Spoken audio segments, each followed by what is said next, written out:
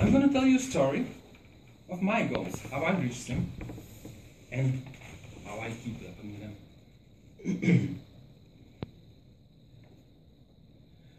Two years ago, I had a very severe car accident.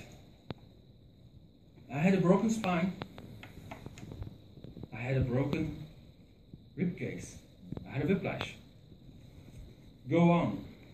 You name it, I had it.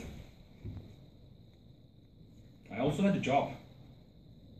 I was a chief supervisor and a fire chief in a chemical company.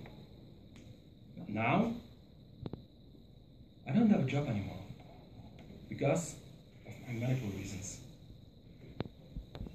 So instead of staying home and just sit there doing nothing, I set myself new goals. And in my case, that's a 180 degrees turn.